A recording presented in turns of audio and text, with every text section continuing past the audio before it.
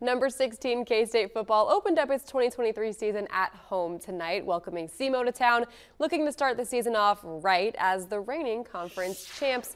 And some very familiar faces were in the building, celebrating their Big 12 championship win and also unveiling the 2022 championship year plaque in the stadium right up there. And let's get to the action. K-State strikes first. Will Howard lets it fly to Jaden Jackson, who hauls it in for the 33-yard score. Cats lead 7-0 early. Now on to the second quarter. We've seen Howard do it with his legs, and he'll do just that right here. Fakes the handoff and scampers on in for the touchdown. K-State up 14-0. This offense wasn't near done. We'll see this collection connection a lot, I think, this season. Howard to R.J. Garcia. He crosses the finish line, 37-yard TD.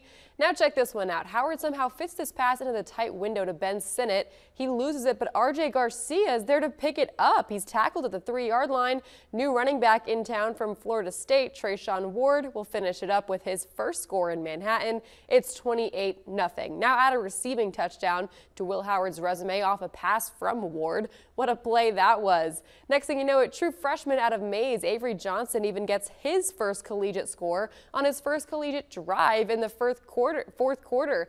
Cats make easy work of the Red Hawks 45 to nothing. 13 Sports Director Vince Lovergine was in Manhattan with more.